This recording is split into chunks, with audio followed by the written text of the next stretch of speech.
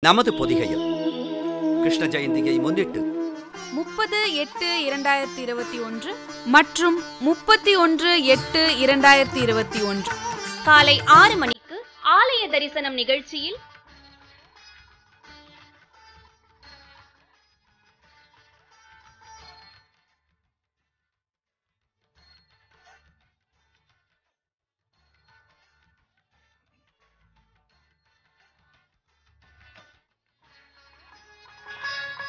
காலை ஆறு மணிக்கு ஆலய தரிசனம்.